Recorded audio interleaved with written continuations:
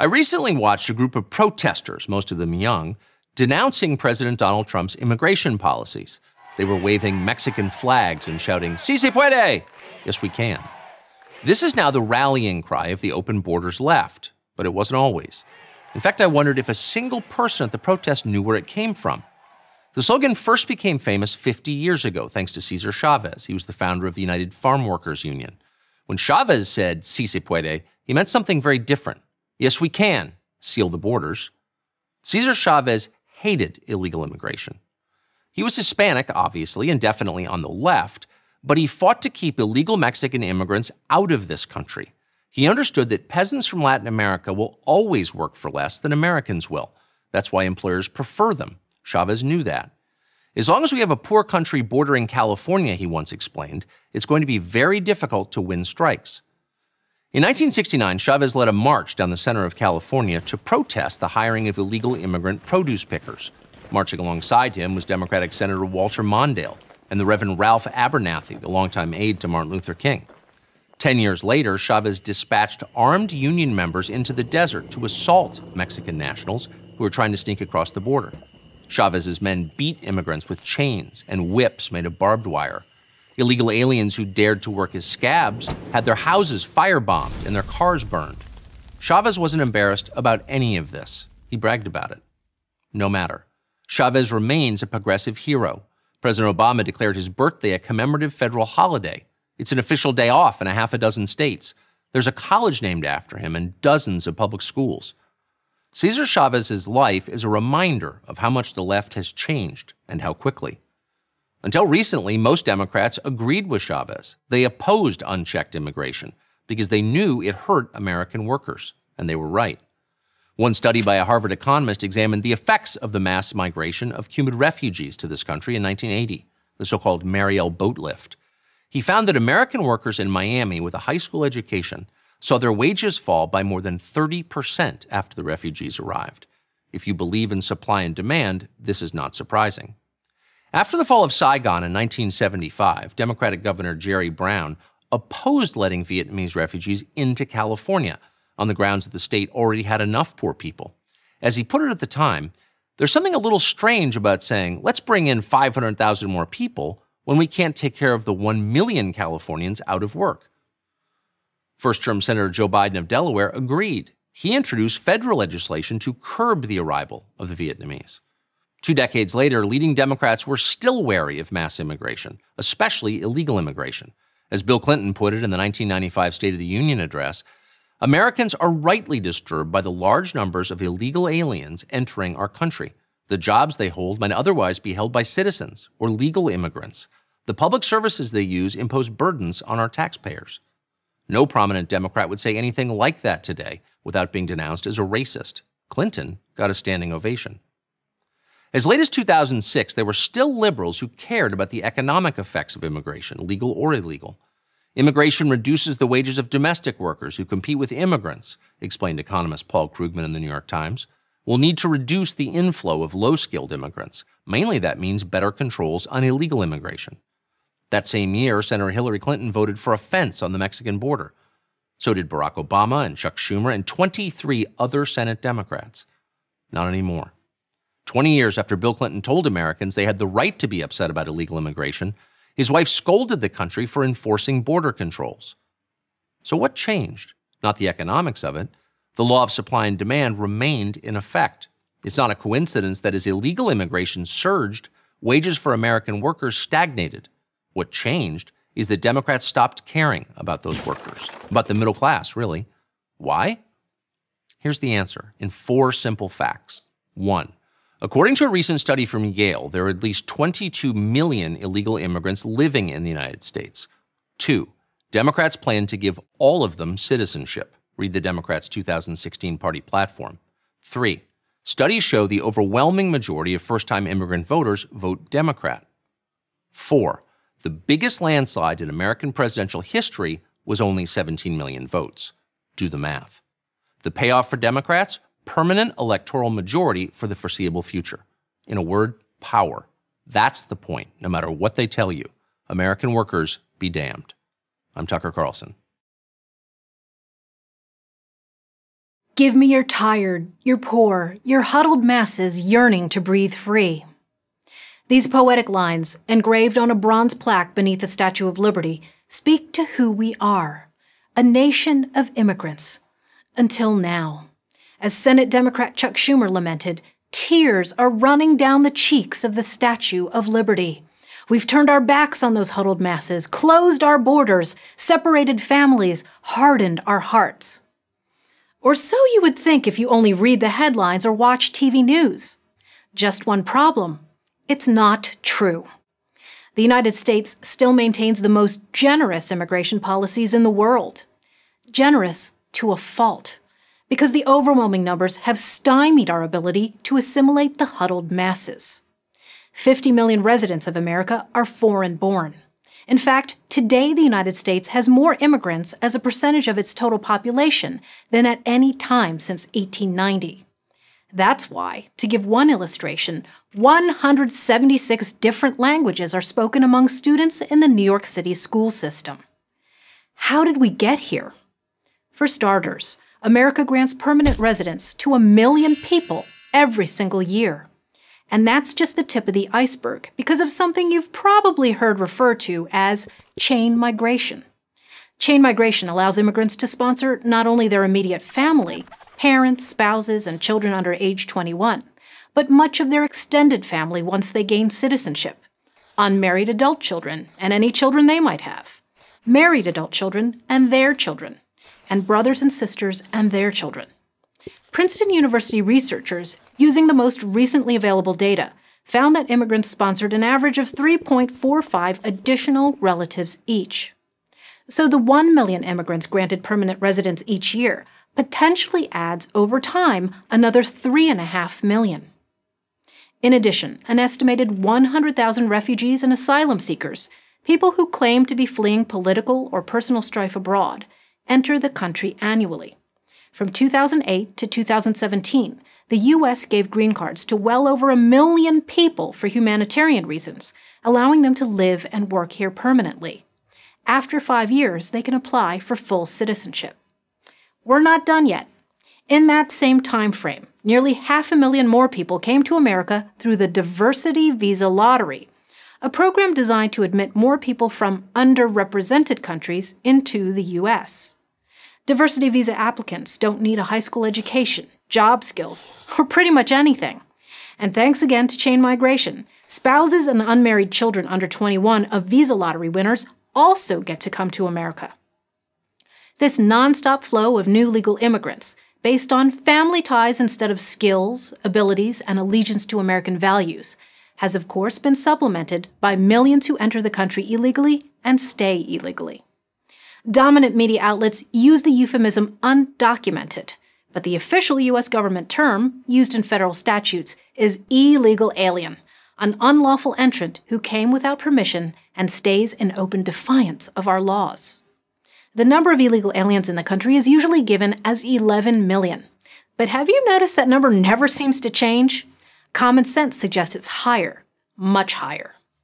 And though illegal aliens themselves don't qualify for welfare, they receive free health care in our clinics and hospitals, and through their American born children, they can expect to receive all manner of benefits cash aid, food stamps, and housing vouchers. Their children are entitled to a free education in public schools. Building a high tech border barrier would certainly help stem this flow. Ending chain migration is another obvious remedy. E Verify, the national database that allows employers to check workers' immigration status, is also essential so is a fully functioning entry exit system to track visa overstayers. But all solutions will ultimately fail unless we get control of the numbers and enforce our laws consistently. It's Sovereignty 101. This is our home, and we have not only the right, but the responsibility to determine who comes in, how many come in, and what qualities and qualifications they bring. The truth is, we let in millions, and of course, millions more want to come. Who can blame them? But it's simply not possible or desirable to let in everyone. And it's not hateful to say so. It's not hateful to protect our borders. It's not hateful to protect our citizens. It's not hateful to protect our values. Lady Liberty may be shedding tears, not because we've stopped welcoming immigrants, but because our ill conceived immigration policies are threatening the American dream.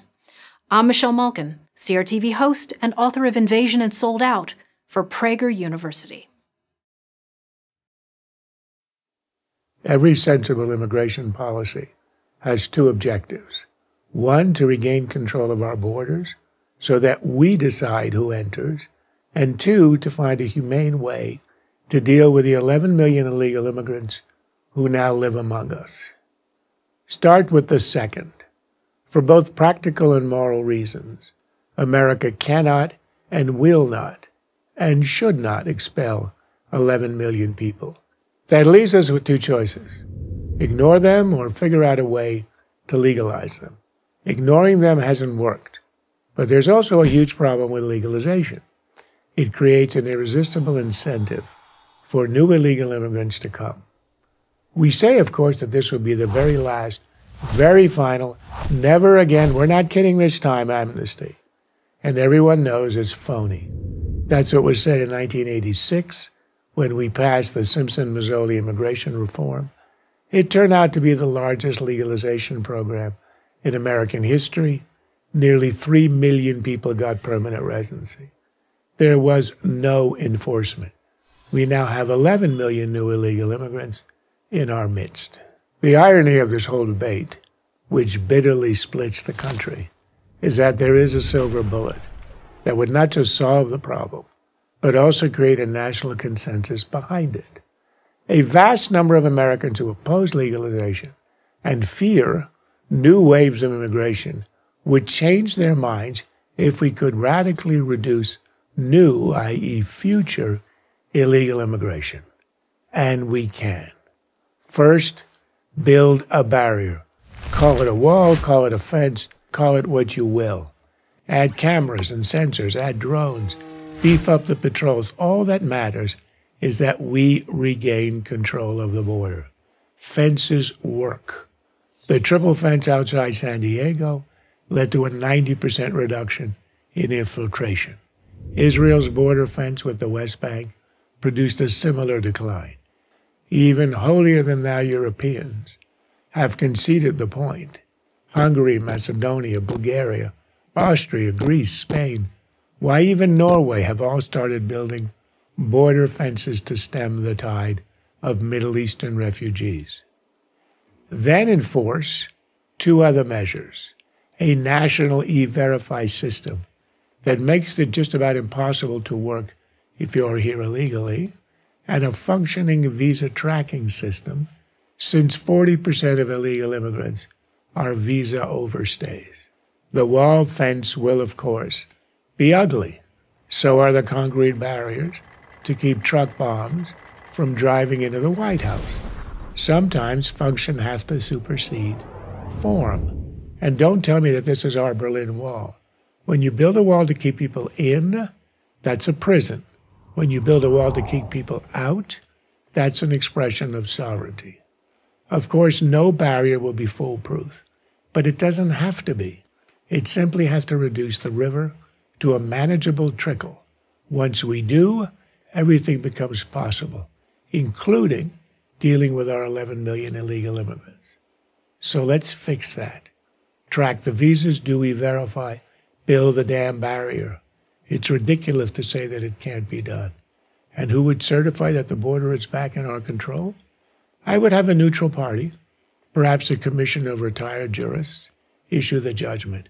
Once they do, we legalize the 11 million, granting them the right to stay and work here. We can't give them citizenship. That's a bridge too far. You don't get to join the political destiny of the country by entering it illegally. But any children born here would be American, which means that over time, the issue resolves itself.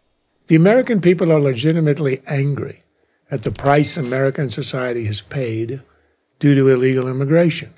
But they are also a generous people. Once they're assured that we do indeed control our borders, that anger will abate. A national consensus will emerge. Radical border control followed by radical legalization. No mushy compromise. A solution requires two acts of national will putting up a wall along with e verify and visa tracking, and absorbing those who broke our laws to come to America. This is not a compromise meant to appease both sides without achieving anything. It's not some piece of hybrid legislation that arbitrarily divides illegals into those with five year old roots in America and those without, or some such mischief making nonsense. If we do it right, not only will we solve the problem, we will get it done as one nation. I'm Charles Krauthammer for Prager University. I am the proud son of immigrants from Bangladesh. I was raised in New York City, which has benefited enormously from the energy and ambition of the millions of people born abroad who've chosen to make it their home. But I also believe that America's immigration system needs to work for America. And right now, that is simply not the case. We need a new immigration system. So, what should it be? We're often presented with two stark choices severe restrictions or open borders. I think there's a better way. But before I offer a solution, let's look at the usual suspects. The case for open borders is, on the surface, pretty attractive. Tens of millions of people around the world would be grateful to come to America for the chance to live in peace and earn a decent living. The vast majority of them mean us no harm. Why not give them a chance to share in the blessings of liberty? The simple answer is that our country is more than just a marketplace. We're a democracy based on a social contract. Americans pay taxes so that, among other things, the poorest, most unlucky among us can still lead decent and dignified lives. If you can't work, you might be eligible for unemployment benefits or disability. If you do work, but your paycheck doesn't go far enough for you to afford medical care or food for your kids, we have a safety net designed to help you stay afloat. Liberals and conservatives disagree on how extensive this safety net ought to be, but they all agree it needs to be there. The question is, how far are we willing to stretch it? A century ago, immigrants who found they couldn't make it in America had little choice but to go back home. That is no longer the case. These days, immigrants who can't earn enough to support their families have access to many government benefits. That doesn't make them bad people. In an age of offshoring and automation, wages for menial jobs don't go very far. If we only admitted a modest number of low skill immigrants, say as political refugees, we could easily handle it. But over the past 40 years, we have allowed millions of low skill immigrants into the country, both legally and illegally. While highly educated immigrants pay far more in taxes than they consume in benefits, the opposite is true of immigrants with less than a high school diploma. Immigrant engineers working for Google, Amazon, and Apple do just fine without government help. The immigrant janitors and busboys who serve them struggle to afford housing and to give their kids a decent start in life. Without government aid, many would go hungry. If we were to open our borders, the number of low skilled immigrants would skyrocket, and so too would the cost of meeting their needs. Ironically, this would only exacerbate the wealth disparity that so animates the open borders crowd. Maybe the rich could wall themselves off in gated communities, but the growing ranks of the poor and even the middle class would have to deal with ever more strained social services. That could provoke resentment strong enough to set off real class warfare. If open borders are a bad idea, so too is severely restricting immigration. For one, immigration has always been part of the American story, and it continues to be an essential source of talent, from Silicon Valley to medicine to pro sports.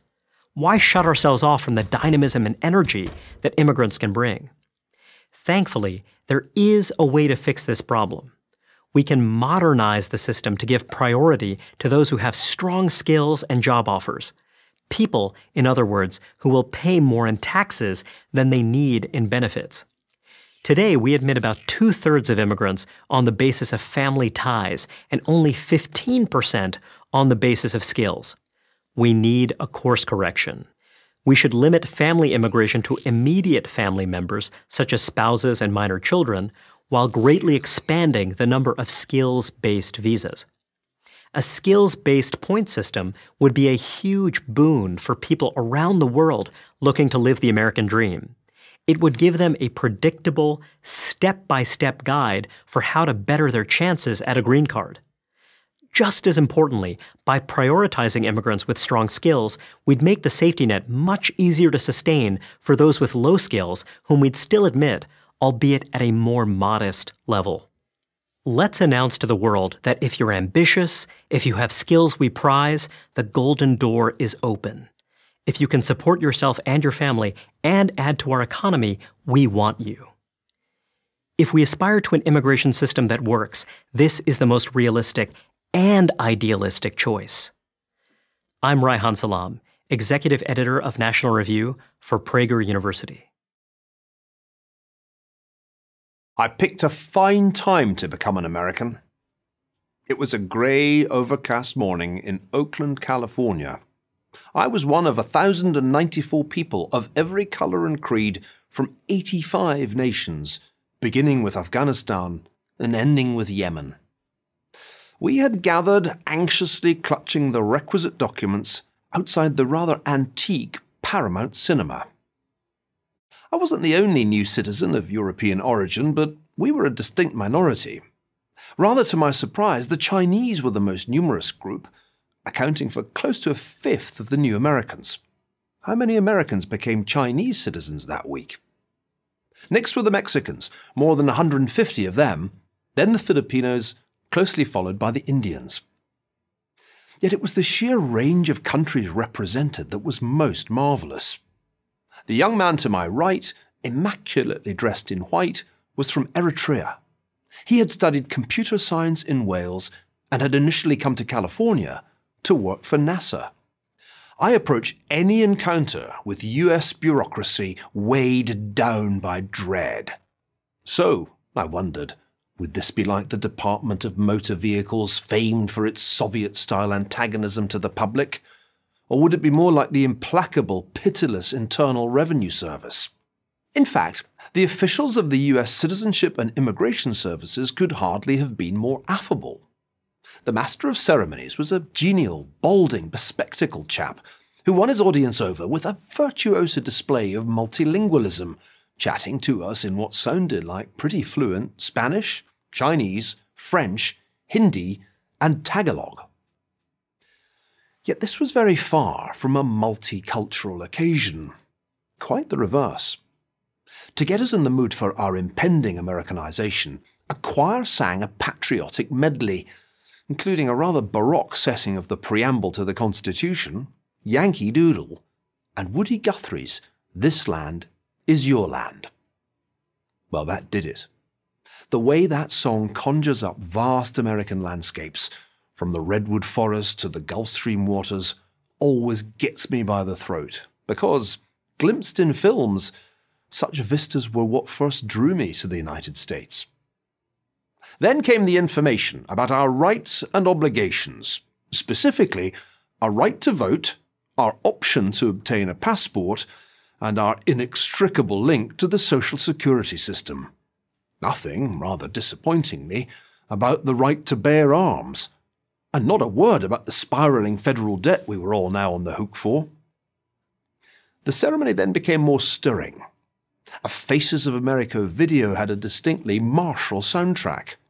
We raised our right hands to swear the oath of allegiance, absolutely renouncing all allegiance to any foreign prince, potentate, state, or sovereignty, and swearing to bear arms on behalf of the United States when required by the law. Then we placed our right hands on our hearts to recite the Pledge of Allegiance to the national flag and to the Republic for which it stands, one nation under God, indivisible, with liberty and justice for all. It's heady stuff, even in Oakland on a Thursday morning. And then there he was, the President of the United States himself, much larger than life on the big screen, this country is now your country, Donald Trump told us rather sternly. Our history is now your history, and our traditions are now your traditions. And that wasn't all. You now share the obligation to teach our values to others, to help newcomers assimilate to our way of life. Compare and contrast with the Barack Obama version. Together, we are a nation united not by any one culture or ethnicity or ideology. The grand finale was God Bless the USA, a country music anthem by Lee Greenwood, made famous following the 9 11 terror attacks on New York and Washington. It too was a call to arms. And I'm proud to be an American, where at least I know I'm free, and I won't forget the men who died who gave that right to me. More than half a century of being British has made it hard for me not to cringe just a little at this kind of thing. But this hokum is now my hokum, and this president is now my president, until such time as we the people vote in another one. Yes, I picked a fine time to become an American, because it's always a fine time. I'm Niall Ferguson, Fellow at the Hoover Institution at Stanford for Prager University. I live in Guatemala and I work throughout Latin America. And I want to speak to the millions of fortunate Hispanic immigrants living in the United States, legally or not. I have a question for you. Why do you support the same policies in the US that cause you to flee your home country? The policies I'm talking about are those that lead to a bigger and bigger central government. You know only too well that the more power the government has, the more corrupt it becomes. My home country, like most other nations in Central and South America, is very poor. 54% of the population lives in poverty, and 13% live in extreme poverty. Half of all children under 5 are chronically malnourished. Crippling government corruption is the norm. Opening a new business can take months, even years, because of a multitude of regulations that are designed to line the pockets of bureaucrats so the cost is much too high for the average citizen. Quite simply, unless you're politically connected in Guatemala, you probably want to leave. And in the last 20 years, many Guatemalans have left. Or to put it more honestly, they fled.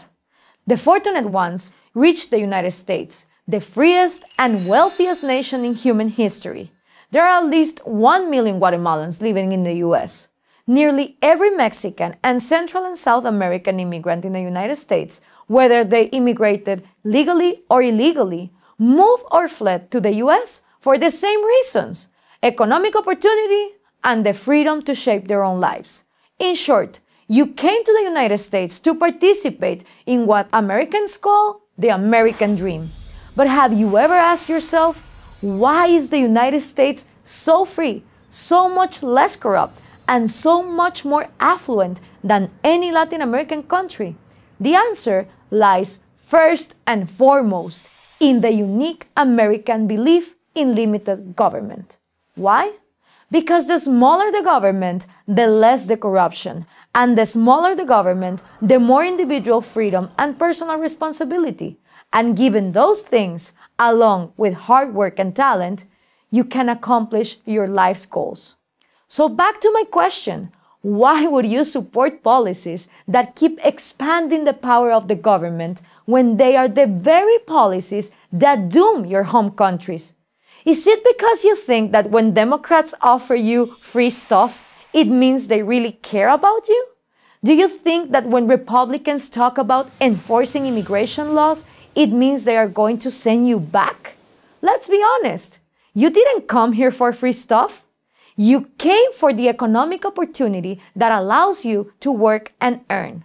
And of course, a nation has an obligation to enforce its borders. Certainly, every country in Central and South America does. In fact, much more so than the US. Perhaps you believe that your home country is poor not because of failed socialism and corrupt big government, but because of issues unrelated to ideology.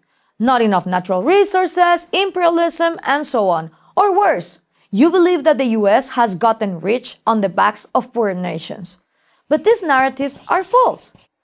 There are many nations blessed with abundant natural resources that are poor, and they are poor overwhelmingly because of corrupt governments and policies that destroy incentives to produce. Look at Venezuela, which has vast oil and mineral reserves, but has shortages of every basic necessity. Why? Because of socialist policies, because of those same deceiving politicians who promise to fight for the people, and give you free stuff. And you're going to fall for these lies again in your adopted country? Do you think by electing politicians who will fight for the people, fight for social justice, and raise taxes on the 1% who are exploiting the wealth of the 99% that you will get ahead? In other words, will you support the same policies and vote for the same types of politicians here who made such a mess back home? The United States became wealthy because its government stayed out of the way of its citizens. The more power you give to the government, the less power you have to control your own life. Prosperity and opportunity diminish as government grows.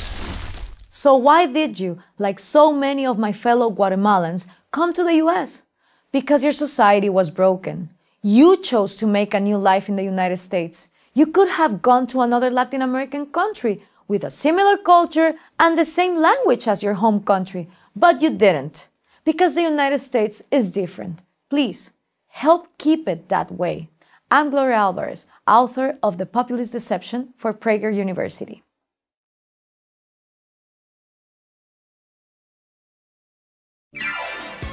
Sweden, home to hot blondes, dead Vikings, and the Swedish chef. Now, add another thing to this list. Sweden is now the proud owner of the title, the rape capital of Europe.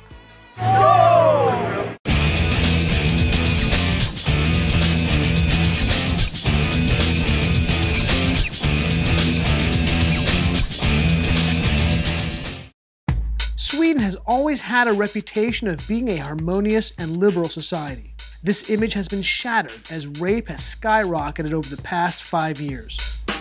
At the same time, Sweden has been going through a revolutionary demographic shift that has seen the country take in more refugees from Islamic countries than any Western nation in the world.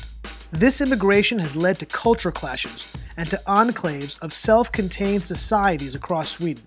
This is Annika Hernroth Rothstein. She's a Swedish journalist who has extensively covered the Middle Eastern migration into Sweden. What we have is, first of all, a very a, a Swedish culture. Then we bring in, last, like last year, 190,000 people that come from a very different culture, a culture that isn't liberal, that has radically different views on women, on sexuality, on gender, on all these things. There's an explosion. Yeah, you, it, will, it will be clashes. This is Rinkeby, a leafy northern suburb of Stockholm, also a completely Islamic area. The police have said this is a complete no-go for them and for journalists. Here, a 60 Minutes crew from Australia is attacked while doing a story on Rinkeby. In order to come here and to prosper, you have to adapt to that culture. And that what we're doing in Europe is the complete opposite. They are saying, how can we adapt to you? Do you think that Sweden has a responsibility to adapt to the immigrants' culture coming in? Definitely. Should a, a woman, when they come here, dress, you know, modestly, you know, with pants and with, with sleeves? Is that important? It is our culture. If you come to Rinkeby, uh, obviously everywhere Sweden is a dress code, you know. I got Swedish girlfriend. Sometimes I say we go to Rinkeby, he's scared. Right. He's scared. Is it dangerous here sometimes? Mm, sometimes, yeah.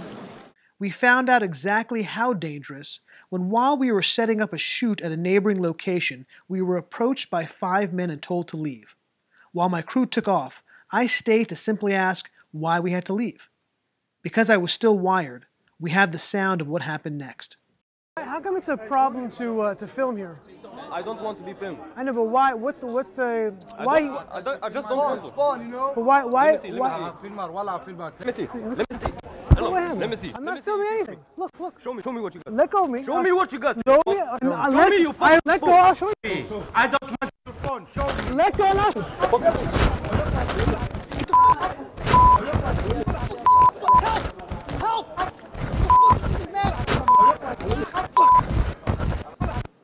I was not the first person assaulted by gangs of immigrants, nor will I be the last. But women are taking the brunt of the explosion of violence across Sweden. When I went to a police station, I noticed that the vast majority of the people waiting to report a crime were women. Later, the police officer who I met with told me that most were there to report rape. These attacks are happening across Sweden, including a rash of rapes at music festivals. Over the past two years, dozens of young women, some as young as 12, were raped at these festivals across Sweden by hundreds of young immigrants. They use the tactic where dozens of men surround one or more girls in circles. While the men in the inner circle sexually attacks their victims, the outer circle distracts and keeps out anyone who would stop it. The attacks have become so common that some bands, most notably Mumford and Sons, refuse to play in Sweden. This has happened multiple times and to multiple victims. Then the issue is that when it is reported, this was widely known by the people who were there, the police that was on the scene, but then it was they put the lid on it. So we They covered it up. They covered it up. So we didn't learn about this until much much later. While the police have told me that the majority of the people that they arrest for rape are from Islamic backgrounds, BRA, the official keeper of Swedish crime statistics, curiously dropped the background of those arrested from the official statistics. The government has failed to recognize that it's made a huge mistake. And the, the European Union has failed to recognize that it's made a huge mistake. And we have this free movement. And the movement, of course, is flowing toward the country with the most generous social benefit system. The type of benefits that immigrants receive in Sweden are significant and are all encompassing, and include housing, food, education, and additional cash. Does the government give enough to, to the immigrants? Yeah, everything's enough. This good world here. Yeah, life is good here. Yes, Better. life is good, better here. They give me a lot. They give me a house, room, uh, clothes, uh, my school. All the Swedish all government things. pay, pays for it. While the staggering increase in rape has made some news, this phenomenon has been coupled with a shocking and less widely reported increase in violent crime in general. Over the past couple of years, several dangerous immigrant riots have broken out, and shootings across Sweden have increased sharply. Anders Göranzon and Jacob Ekstrom are veteran and decorated policemen who have decades of experience and are tasked with policing within the immigrant community. Has there been an increase in violence and crime here in Sweden? More violence and uh, harder violence with uh, guns and. What type of weapons are you guys seeing on the streets? You can see uh, Kalashnikovs, hand grenades from the east, guns, handguns, everything you can find in Afghanistan, you can find here. Doesn't Sweden have very strict gun laws? For sure, you know, and, and we get all the time we get new laws about guns, uh, tightened up uh, more, and um, I think it's I think it's good, but you know the the, the violence increased anyway. This is a former police station which had to be moved a couple of years ago. Now, the police will tell you that it simply became too unsafe for them to have a full time presence here. This man has been playing the accordion for several years, trying to bring some musical cheer to the suburb. Yet, he has faced numerous attacks. My, my music, my music, and the people, boo, boo, boo, boo, the police. But the, police You need you need the police here? Yeah, it's the police. They, go back the police here. Would you go as far as to say that these no go areas are essentially states within a state? Yeah, most of the no-go areas is like that. Are there areas where there, if you're pursuing uh, somebody, where you'll simply stop and not pursue them once they get into this no-go area? Yeah. If uh, the police is chasing uh, uh, another car for some kind of crime, if they reach uh, what we call no areas, the police wouldn't go after. If Do you see the violence really spreading across Sweden into the cities? At least one or two times a week. And, and let's say five years ago, how often would you say it was? No. three times a year. Really? The increase in this in this kind of crime is exponential. I think we caught uh, caught uh, off guard. We didn't uh, expect it to be so so much uh, so much increase. Do you think there's a deliberate attempt to cover up these type of crimes? Rather than uh, that they they don't want to uh, seem racist. Is there a sort of sensitivity and, or people scared that if you identify who's committing these type of crimes, that you could be labeled a racist? Of course, I think this is uh, these issues make people nervous all over the world, not only even in Sweden. This make me nervous as well. wh- If we're talking about it, and Because you don't want to be called racist.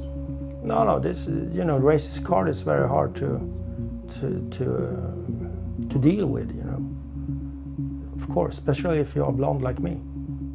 And now, to add to these woes, Sweden has had dozens of people go to fight for ISIS, and they're starting to come back. Sweden has had its first Islamic terrorist attack. Do you think the sexual assault problem is an Islamic problem or, or no, not really? No, no, I think it's um, a general problem among among men. Yeah, the problem isn't like this culture or that culture. The problem is male culture. I don't think the immigrants is the problem. No, it's not. Like, that's just a, like a tiny, tiny bit of the problem. And like, when that happen happens, like it's because we didn't like uh, bring uh, bring them in in the right way. And I don't see that connection at all. And I would very much like to see the evidence of such a connection. Do you think it's, it's almost racist to make that connection? Yes, I think so. Is there a point where you think that Sweden's done too much to bring people in, or do you think there's No, there is no too much in helping people. And is there a limit, do you think, to how many immigrants Sweden can take? No, no. The civilization born of Judeo Christian values, ancient Greek philosophy, and the discoveries of the Enlightenment is staring at the abyss brought there by its own hand. To put it starkly, Europe is committing suicide. How did this happen?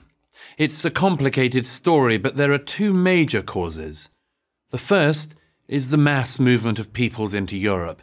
This has been going on steadily since the end of World War II, but sped up massively in the migration crisis of 2015 when more than a million migrants poured into Europe from the Middle East, North Africa, and East Asia. The second, and equally significant, is that Europe lost faith in itself, its beliefs, its traditions, and even its very legitimacy. Let's take a closer look at both causes. For decades, Europe encouraged people, mostly from the Middle East and North Africa, to come as temporary workers. Nobody expected them to stay, yet they did. And nobody asked them to leave, even those who came illegally. As one British immigration minister put it in 1999, removal takes too long and it's emotional. And, of course, why would they leave? The economic opportunities were far greater in Europe than from where they came, and if the work dried up, there were generous welfare benefits to be had. For a time, immigrants were allowed, even encouraged, thanks to the European commitment to multiculturalism, to pursue whatever culture they wanted. But that didn't work out well. The leaders of Britain, France, and Germany admitted as much in 2011 when David Cameron, Nicolas Sarkozy, and Angela Merkel dramatically announced that multiculturalism had failed. So, the immigrants were then asked to assimilate and embrace Western values. If that happened, European governments reasoned, all the financial costs, even the occasional acts of terrorism, could be overlooked. But it never happened, and immigration just increased. During 2015, Germany and Sweden added 2% to their populations in a single year. By 2017, the most popular boy's name in the United Kingdom was Mohammed.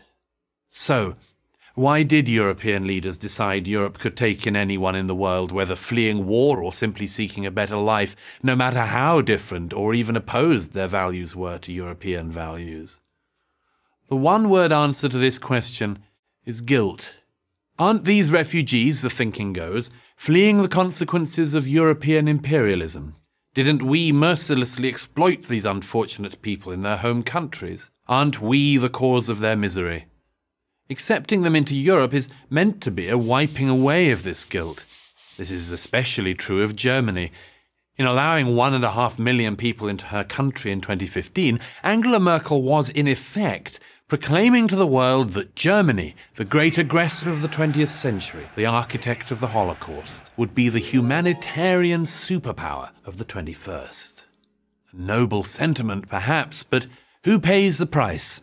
The ordinary citizens of Europe, who've seen crime and terrorism increase exponentially. Their fears and frustrations have been largely ignored, or worse. In October 2015, the German government designated that 800 newly arrived immigrants were to be housed in the German town of Kassel. Concerned residents had a meeting to ask questions of their representatives. As a video recording shows that his citizens were calm and polite, and then, at a certain point, their district president informs them that the refugees are coming regardless of their objections, and anyone who does not agree with the policy is free to leave Germany. This official attitude, if there is a problem, it's not with the refugees but with the citizens, reflects a sense of what I call tiredness. A feeling among the elite class that the European story has played out, that we've tried religion and all imaginable forms of politics, and that each has one after another led us to disaster. We taint every idea we touch, so who's to say that the world wouldn't be better off without us? Of course, only people who have no idea how lucky they are could take this view.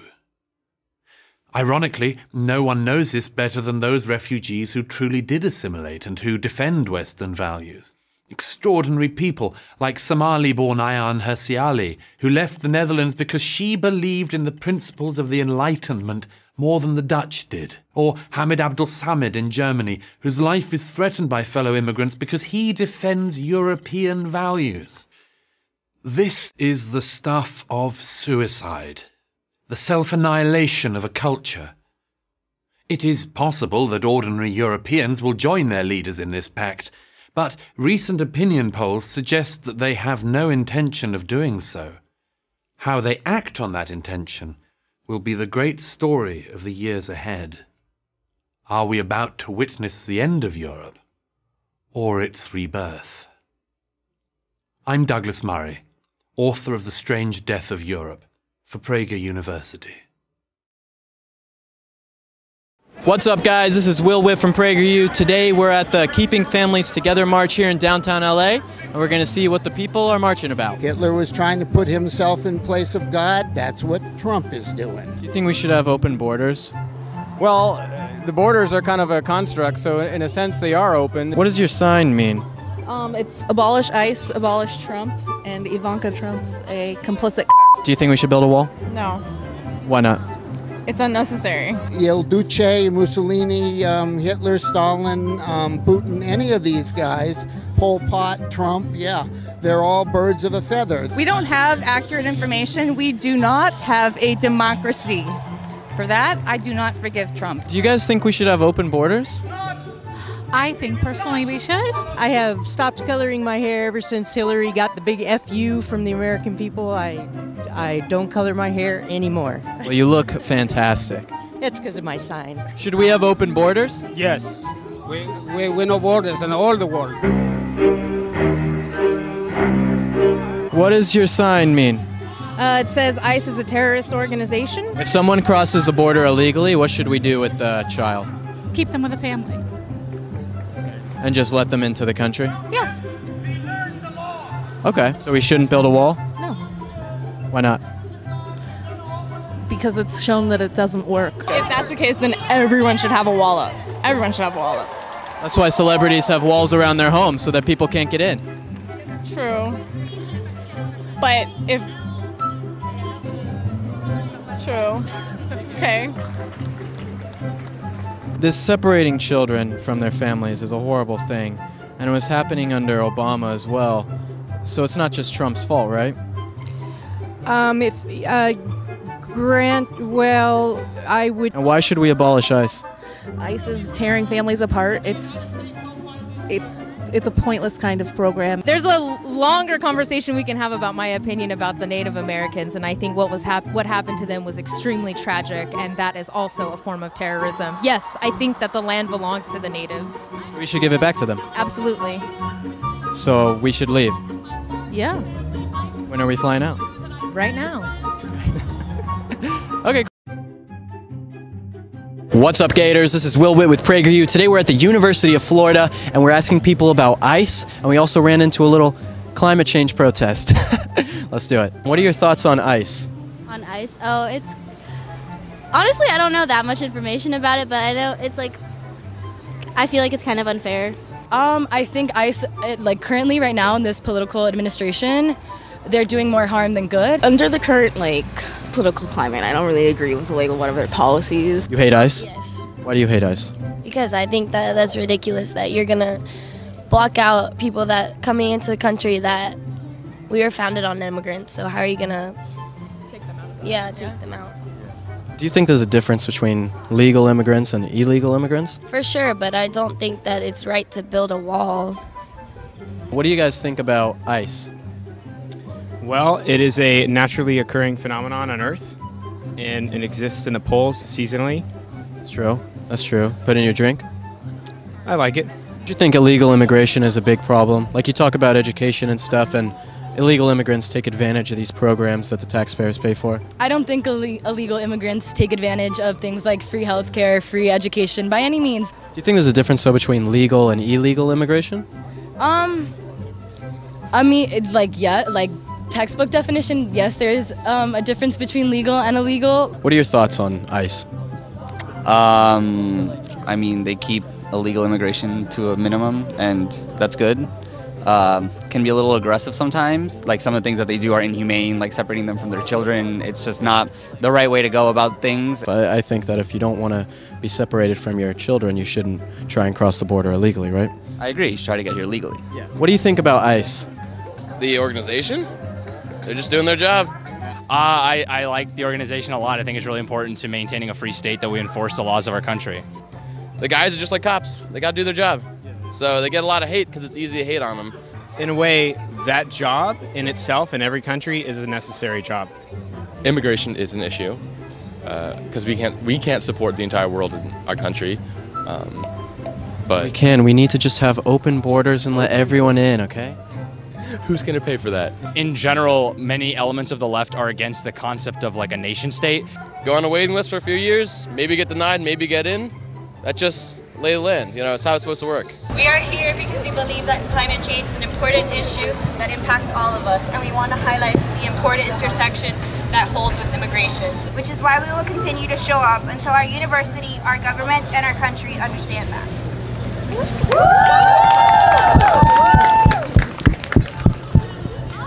Climate change. Climate change has no borders, okay? It's open borders, climate change. Aren't you with Antifa? not to talk to him. You were the, at the Antifa table the other day, right? Uh, but yeah, just uh, it's best not to talk to him. That's a yes. You think climate change affects immigration?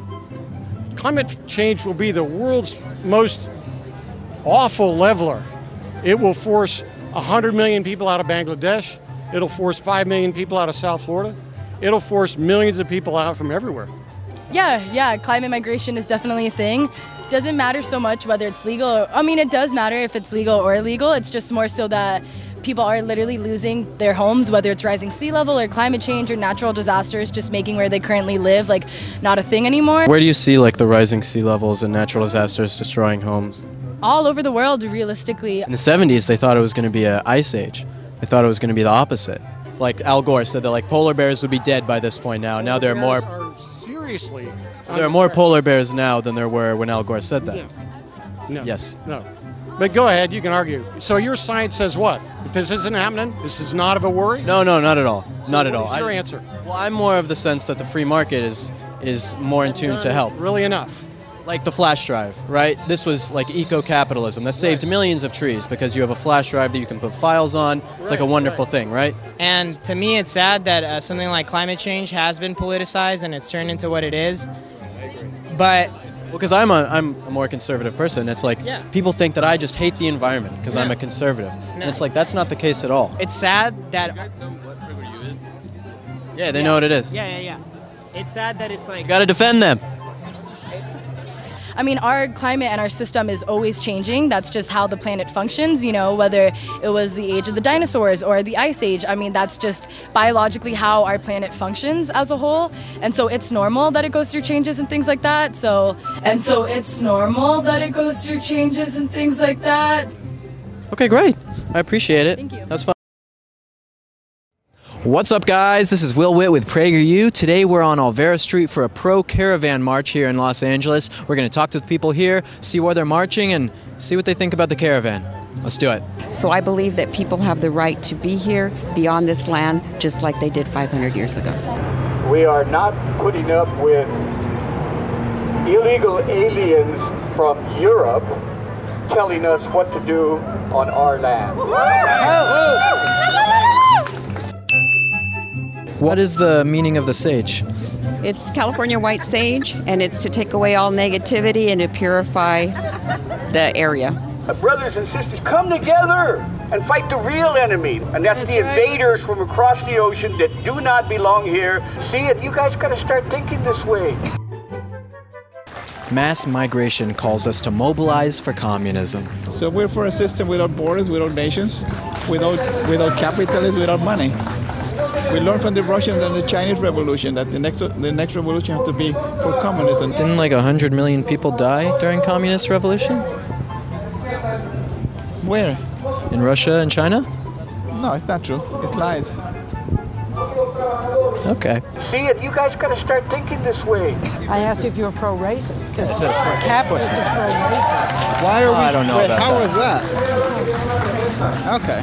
What do we want? Justice! When do we want it? Just a question. Did your guys' parents, grandparents, did they come in illegally or legally? Do you know? Uh, I have to ask, but um, I, I think for the most part, they they probably We intend here a plurinational California republic. Yeah, Trump is an Yeah. But so was Obama. Yeah. So was Clinton. The solution is simple. Besides the destruction of the empire, these people are, there's one of them there, they are, they're the modern day Gestapo. Yeah! If you don't know what the Gestapo is, that was the, the police of the Nazis. Yeah. And as a history teacher, I teach my, my students about World War II and the Nazis and all that. See it, you guys gotta start thinking this way. Number! All right, guys, we just finished up here at the pro refugee, pro caravan, and honestly, just pro communism march. This is the leftist future that they want. This is what we're up against, guys. Share this video, share PragerU videos, get them out to people. We need people to be educated, or the left is going to take over this country, and this is going to be the future that we have in America. Guys, thank you so much. Follow me on social media at, Will, at the Will Witt and at PragerU. See you guys next time. See it, you guys gotta start thinking this way. Aloha everyone, that's Hawaiian for What's Up Guys. This is Will Witt from PragerU. Today we're in Waikiki Beach talking to people about illegal immigration and whether Hawaii should be a sanctuary state. Let's do it. What are your views on illegal immigration? Um, well, I wouldn't call it illegal to begin with. It's- oh my gosh, that's such a hard question. This isn't the land of the people who claim for it to be illegal. So, yeah, I think that term in and of itself is problematic. The natives in America are not immigrants. The natives of Hawaii are not immigrants. You guys like Starbucks? I love Starbucks. It's great. I do really appreciate it. Capitalism, Starbucks. No, capitalism and the corporate world. yeah. So, like, if someone from, I guess, let's say, like the Philippines came to Hawaii, immigrated here, um, but didn't become a citizen, is that illegal? Um, I mean, yes, it is illegal, but I think it's important to note that the people who decide what is legal and what isn't, like, are not indigenous to Hawaii either. Do you think Hawaii should be like a sanctuary state? Um, I'm so in support of having a sanctuary in the U.S., but I think Hawaii is a bad place because. Yeah, because not Hawaii. I mean, ideally, I think every state should be a sanctuary state. I feel like it's already kind of overpopulated. the local community here, Yeah, it's not a good idea, It's not a good idea to ha- to send more people here. The locals don't want illegal immigrants here? No, not, that's not it. It's like, it's not that they don't want illegal immigrants. It's that like everyone's already coming here and kind of taking over. If people are interested in coming into our borders, there's just a process that has to be followed. Do you think it's it's fair for people who like illegal immigrants who come to get benefits from the government if they don't pay taxes like we do? Oh, this is That's a hard Oh, one. he hit it. Um, um. What do you think about that? Is that right? Of course not. They got to pay dues. I mean, some people take it for va- take advantage because we, you know, Americans we're the nicest people in the world. I think we give too much a lot of times, but um, you know that's what makes us a good country. It's like a double-edged sword. We want you to come, but don't come over here bringing and killing people. You think it's okay for those illegal immigrants to come to the rest of the USA, just not Hawaii? Honestly, yeah. Honestly, yeah. It's not really an immigration conversation. It's kind of a racist conversation, I think, is what we have to realize. And it has nothing to do with really. It's not Nothing to do with the race. right or wrong. No, no, of course not. It's right or wrong. We're a great country, and I think people need to to really respect it and not take advantage of it. And yeah, it's wrong if they come over here illegally and they're not going to contribute. I couldn't be the president. I definitely uh, couldn't. Can I somebody say action? Action. Quiet on the set. You Hey, it's Rock Me Ronnie. I'm here with the guy I've been telling you about. He's known from coast to coast like butter and toast. How many you got? 150 million viewers? That's right. Oh my God, see that? And you didn't think I knew that. We are talking to people today about illegal immigration and why Hawaii should not be a sanctuary state. That's the main gist of today. I'm with you, brother. Who's your There president? Trump, Donald Trump. Can I get a hoo-ha? Hoo-ha! For Donald Trump. For Donald Trump, baby. Thank you so much for helping me film. You want to introduce yourself to everyone? My name is Tiana Ilasara, and it was an honor to host Will Witt here in Hawaii, where I am born and raised. So thank you so much for getting the Hawaii perspective out there. Thank you. And you're a member of Prager Force too? Definitely love Prager Force. It's our student program with PragerU. You can check prageru.com to join. Uh, it's a wonderful thing. So the people today were great people. We found some leftists who did not like our views on immigration very much, but that's why the whole country is going downhill because of leftists with these kind of views. So it's up to us as conservative people to try and change them. Thank you guys so much for watching. Share this video with your friends. Follow me and PragerU on social media. See you in the next one. Peace. Aloha. Mahalo. Aloha. Can I get a hoo-ha? Hoo-ha!